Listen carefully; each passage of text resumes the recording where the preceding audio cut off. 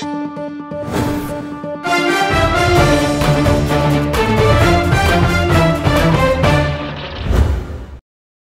Moldovenii au concurat cu sportivi din Turcia, Bulgaria, Croația, Serbia și Grecia. Din cei peste 120 de participanți, ai noștri au venit acasă cu șapte seturi de medalii, dintre care două seturi de aur, două de argint și un set de bronz. Svetlana Miron este lector superior la Universitatea de Stat de Medicină și Farmacie. Femeia spune că sportul este parte din viața ei, iar de la Mersin s-a întors cu medalia de aur. Am adus aur în țară, deci suntem, avem emoții suntem foarte bucuroși. Am luptat, vă spunem drept, am luptat mult, dar am demonstrat că suntem cine suntem, deci prin muncă, depusă de mai mulți ani, le-am demonstrat la toți că Republica Moldova poate arăta rezultate frumoase și pe viitor vom reuși și mai mari, și mai mult și la mai mari. Alexandru Caraman a adus argintul. Bărbatul recunoaște că și-ar fi dorit să urce pe prima treaptă a podiumului, dar concurenții au fost pe măsură. Ca un adevărat învingător însă spune că nu se dă bătut.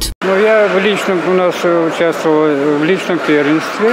Это я в личном одиночном второе место. Первый болгар взял. Вот сильный игрок, и я на, на него настраивался, но не получилось. Ну, насчет него, Христа Михалев, э, в том, что договорились, что он приедет в Молдову в следующем году, и чтобы я отыгрался. Он dau добро и привезет с собой команду хорошую. Antrenorul echipei naționale de badminton, Ludmila Barbălat, recunoaște că victoriile au fost muncite în sudoarea frunții. A fost foarte frumos. Uh, competiția a fost uh, la un nivel organizat înalt. Noi am făcut antrenament înainte de aceasta. A fost și greu și mai puțin greu, uh, dar am luptat bine. Am venit acasă cu șapte complecte de medalii. Campionii au fost întâlniți la aeroportul internațional Chișinău de rudă și prieteni, care spun că au fost cu gândul la ei și i-au susținut. Смотрели ну, очень рады, что... И я сказала, любые места, но чтобы был дома.